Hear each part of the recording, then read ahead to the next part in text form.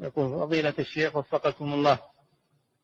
يقول هل سؤال طالب العلم لشيخه في مسائل العلم من السؤال الذي تركه أولى بحيث إذا بحث السؤال الذي؟ تركه أولى لا.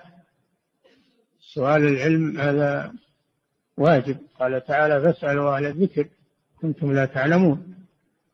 فسؤال الطالب لمعلمه هذا واجب. لا يجوز له أن يسكت ويترك السؤال عن العلم. نعم.